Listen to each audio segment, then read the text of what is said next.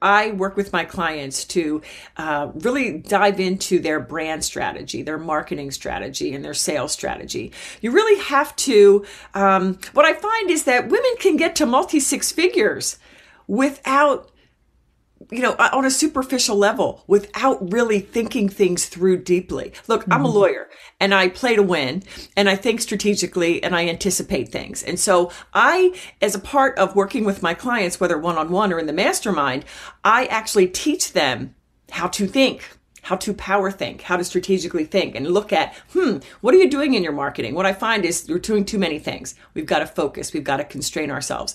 And in the way of sales, a lot of times they're like, oh, a sales strategy? Um, I don't know what that means. So that jumpstart is all strategic think work.